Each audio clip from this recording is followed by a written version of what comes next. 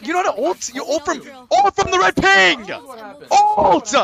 Go to the red ping. Go to the red ping. I please, No, no, please. One me. You're fucking. Yep, that means it's a good play. Good shit. Good job. Okay, okay. Tell that to all the pros that do that then. Tell that to all the pros, not me. We got all of ours for free. They ran away. What do you mean it did nothing? We got so much map control. We had a free bomb site.